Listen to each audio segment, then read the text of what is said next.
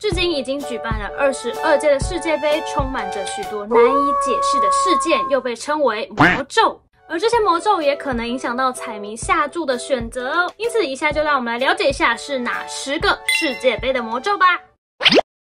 第八个魔咒，南美球队在淘汰赛赢不了法国。这个魔咒相当有趣哦。从一九八六年世界杯开始，只要在淘汰赛中南美球队遇上法国，全部都输。包括一九八六年的巴西，一九九八年的巴拉圭和巴西，其中哦，巴西还在最终决赛输给法国，让法国捧起队史首个世界杯冠军。二零零六年，巴西在八强又输给了法国。二零一八年，阿根廷、乌拉圭同样都挡不住法国。本届法国想要卫冕，也许有在路上会想多遇到一点南美球队。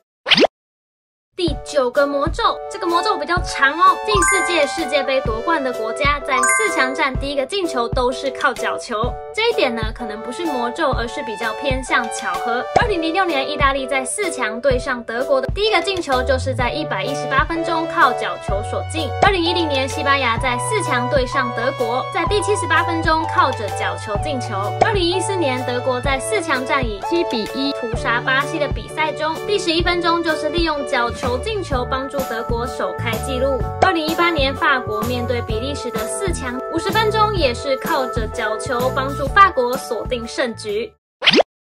第十个魔咒。Drake 魔咒，加拿大歌手 Drake 呢，只要是他穿过的球衣或是支持过的队伍，最后的结局都不太好。包括博格巴、奥巴美扬，还有不少球队，曼城、多特蒙德、曼联、PSG 等等，全部都在下一场比赛输球。这次呢，是加拿大魁为三十六年重返世界杯，可能还得小心 Drake 喽。世足配运彩，看球更精彩，